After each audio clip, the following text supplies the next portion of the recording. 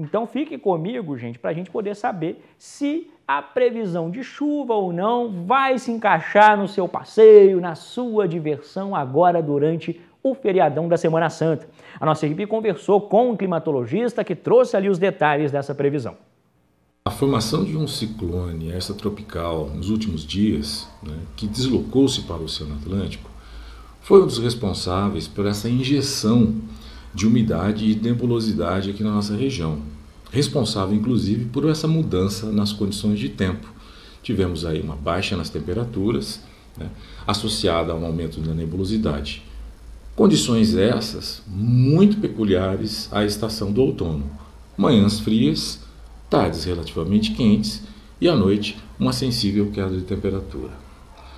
Para os próximos dias, espera-se que essa condição de tempo seja muito comum e mantenha-se pelo menos até sexta-feira, quando a aproximação de um, um, uma região de baixa pressão, né, de, um, de uma região de baixa pressão, deve promover mudanças nas condições de tempo aqui para a nossa região, trazendo possivelmente chuvas para o sábado e também para o domingo de Páscoa.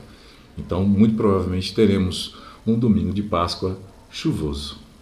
Eita, você viu aí a previsão é de chuva para o feriadão específico para o domingo de Páscoa.